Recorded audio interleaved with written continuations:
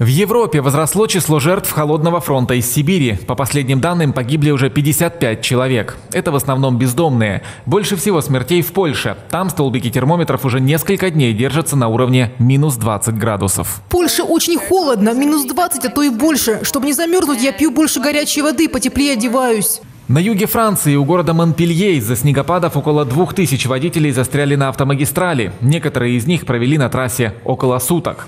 По-прежнему сложная ситуация в Британии. Там непогода спровоцировала транспортный коллапс. Я здесь с 4 часов вечера. Застрял по дороге домой. Мне удалось проехать только 5 миль. В Ирландии синоптики сообщают о самых сильных снегопадах за последние десятилетия. Воздушное сообщение в аэропорту Дублина приостановлено. Нарушения в работе ожидаются и в субботу. Снова приостановлена работа воздушных ворот в Женеве. Из-за сильного ветра отменяют или задерживают десятки рейсов и в Амстердамском аэропорту Схипхолл. Нарушено также железнодорожное сообщение между Лондоном, Парижем и Брюсселем.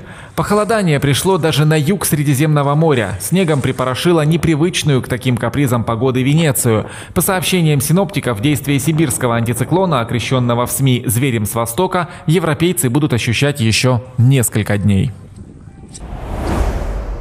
Трагедия на автобане А9 в Баварии. Там погиб 61-летний водитель фуры, перевозивший покрышки. Возле города Байрайт грузовик врезался в отбойник и перевернулся. Водителя зажало в кабине. Он умер еще на месте аварии. Во время аварийно-спасательных работ сотрудникам экстренных служб пришлось защищаться от чрезмерного любопытства некоторых автомобилистов. Для этого они соорудили ограждение из служебных машин. Несколько часов автобан был полностью перекрыт в обоих направлениях. Из-за этого на дороге образовался многокилометровый затор. Кораблекрушение в Нижней Саксонии. Возле города Фризойте дало течь нидерландское грузовое судно, перевозившее древесные гранулы. При этом из машинного отделения повалил густой дым. Несмотря на повреждения, 55-метровое судно смогло пришвартоваться у берега. Однако носовую часть сильно затопило водой. Экипаж не пострадал. На место аварии прибыли почти полторы сотни спасателей. Прибрежный канал и прилегающую федеральную дорогу пришлось полностью перекрыть. После аварийно-спасательных работ судно отбуксировали в соседний порт города Затерланд. Сейчас корабль тщательно осматривают эксперты. По их словам, пробоина могла возникнуть из-за плавучего льда в канале, однако точная причина аварии пока неизвестна. Российский «Газпром» расторгает все контракты с Украиной на поставку и транзит газа. Об этом заявил глава правления компании Алексей Миллер. Процедура будет проходить в стокгольмском арбитраже, который ранее обязал российскую компанию выплатить Украине более 2,5 миллиардов долларов. Контракты на поставку и транзит газа должны были действовать до конца 2019 года. Теперь в «Газпроме» их считают невыгодными. До юридического расторжения договоров в Стокгольме транзит газа через Украину будет продолжаться. Однако все поставки топлива не непосредственно в страну прекращаются. В таких условиях Киев принял кризисный план действий. Температура в отопительной системе будет снижена, а теплогенерирующие предприятия переведут на мазут. Кроме того, на неделю закрываются все учебные заведения.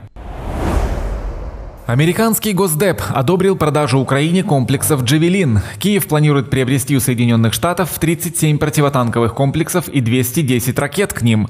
Сумма сделки 47 миллионов долларов. Американская сторона считает, что продажа Украине «Джавелинов» защитит ее суверенитет и не изменит военный баланс в регионе. Киев рассчитывает получить партию американских противотанковых комплексов уже в этом году. Соединенные Штаты не удивлены заявлениями Кремля о новом оружии, но огорчены тем, что российские ядерные ракеты нацелены на их территорию. Так американская сторона прокомментировала заявление российского президента о создании малогабаритной сверхмощной ядерной энергетической установки с неограниченным радиусом действия и непредсказуемой траекторией полета ракеты. Президент Путин подтвердил то, что правительству США было известно давно и что в Москве отрицали. Россия более 10 лет занималась разработкой дестабилизирующих систем вооружения в нарушение своих международных обязательств. Заявление Выступление Путина сопровождалось иллюстративной анимацией с ядерным ударом по Соединенным Штатам. Было, разумеется, весьма печально смотреть эту анимацию, где показывали атомную атаку на США. Не могу сказать, что кому-либо из нас это понравилось. Такие вещи непозволительны для серьезного, ответственного международного игрока. Накануне Владимир Путин во время послания Федеральному собранию почти час говорил о новинках российского вооружения. Все оно, по словам главы Кремля, было создано в ответ на действия Соединенных Штатов по расширению своей системы противоракетной обороны. Даже удивительно, но несмотря на все проблемы, с которыми мы сталкивались там, в экономике, в финансах, э, в оборонной промышленности, в армии, но все-таки Россия оставалась и остается крупнейшей ядерной державой. Нет, с нами никто по существу не хотел разговаривать. Нас никто не слушал. Послушайте сейчас. Громкие заявления Владимира Путина прозвучали в канун президентских выборов, которые состоятся в России 18 марта. Мощный взрыв, автоматные очереди и клубы черного дыма. Боевики совершили новое нападение в столице Буркина-Фасо. По сообщениям СМИ, не установленные пока террористы напали на посольство Франции и штаб армии. Попытку штурма дипломатической миссии подтвердили французские официальные лица. Мы с коллегой видели, как четыре человека попытались проникнуть в посольство с восточной стороны. Они были в гражданской одежде, вооружены автоматами Калашникова и ножами. На них были жилеты и рюкзаки. Когда попытка не удалась, они попробовали зайти с западной стороны. По словам мэра Угадугу, неизвестные также обстреляли здание муниципалитета. Позже власти страны заявили, что четверо нападавших нейтрализованы. Информации о жертвах среди мирных граждан пока нет. Представители французского правительства сообщили, что что положение в посольстве под контролем. Буркина-Фасо уже в третий раз за два года стала мишенью для экстремистов, вероятно связанных с запрещенными организациями Аль-Каида и Исламское государство. Как минимум 26 человек стали жертвами пожара в наркологическом центре в столице Азербайджана. Вспыхнуло рано утром, загорелся деревянный одноэтажный корпус. Погибшие – пациенты, которые не могли передвигаться самостоятельно. Из горящего здания удалось оперативно эвакуировать около трех десятков людей. Всего же из комплекса вывезли более двух сотен пациентов и медицинских сотрудников. Три человека госпитализированы с ожогами и отравлением дымом. Из-за сильного ветра пожар удалось потушить только спустя два часа. По предварительной информации, причиной Причиной трагедии стали неполадки в электропроводке.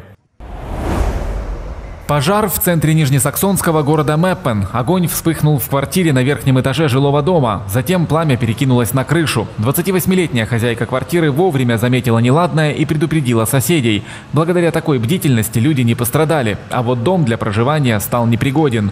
Работу пожарных усложнял сильный мороз, из-за него в некоторых кранах замерзла вода, поэтому спасателям пришлось потратить некоторое время на то, чтобы ее растопить. В Германии задержали предполагаемого организатора контрабанды кокаина через российское посольство в Аргентине. Это Андрей Ковальчук, работавший в свое время в службе безопасности российского МИДа. Чемоданы, в которых было почти 400 килограммов наркотика, обнаружили в школе при российском посольстве в Буэнос-Айресе еще в прошлом году. И теперь полиции удалось проследить маршрут, по которому курьеры доставляли кокаин в Россию. В то же время задержанный настаивает, что стал жертвой провокации, а в 12 чемоданах, найденных в Аргентине, были личные вещи, подарки, кофе кофе и алкоголь. Ранее в Аргентине по этому делу задержали пять человек. Анархисты устроили погром в центре Афин. Около двух десятков молодых людей с молотками и железными дубинками атаковали магазины в центре греческой столицы, нанеся значительный материальный ущерб. Это уже второе такое нападение на этой неделе. Так анархисты поддерживают подозреваемого в покушении на экс-премьера Лукаса Пападемоса. В прошлом году 70-летний глава правительства был серьезно ранен, открыв в машине оставленный ему пакет. В его отправке обвиняют 29-летнего мужчину. Он находится в тюрьме и объявил голодовку в знак протеста протеста. Для противодействия анархистским группировкам на улице Афин дополнительно вывели 200 полицейских. Израильская полиция допросила премьер-министра страны Беньямина Нетаньяху. Вопросы следователей касались новых обвинений в коррупции, так называемого дела 4000. Правоохранители проверяют информацию о том, что Нетаньяху якобы продвигал интересы крупнейшей израильской телекоммуникационной компании Безик в обмен на благосклонное освещение деятельности его правительства на популярном новостном интернет-ресурсе. По этому делу уже арестованы бывший пресс-секретарь Нетаньяху, экс-министр связи, а также владелец Безик вместе с женой, сыном и несколькими сотрудниками сотрудниками. Премьер-министр, для которого это уже четвертый мандат, проходит подозреваемым и по двум другим делам о коррупции. Сам он все обвинения отрицает. Позолоченное изваяние обвиненного в сексуальных домогательствах продюсера Харви Вайнштейна появилось в Лос-Анджелесе. Фигуру из стекловолокна и акриловой смолы установили уличные художники. Свое произведение скульпторы назвали в дословном переводе на русский «кушетка для кастинга». Английская идиома «кастинг couch» означает «услуги в обмен на секс» или «через постель». Когда грянул скандал вокруг Вайнштейна, стало очевидно, это история года в Голливуде. Я понял, что должен отразить ее в своем искусстве. Как говорят художники, реакция прохожих на такую версию Вайнштейна – шок, смех и ужас. Скульптура отражает отношения людей. Она очень своевременная и наполнена точным смыслом. Подобное не может продолжаться, хотя и происходило в течение длительного времени. В прошлом году более 70 женщин, включая известных актрис, обвинили Харви Вайнштейна в сексуальных домогательствах и даже изнасилованиях. Он утверждает, что все сексуальные контакты происходили по обоюдному согласию. После разразившегося скандала Вайнштейн был исключен из Американской киноакадемии и уволен из собственной компании.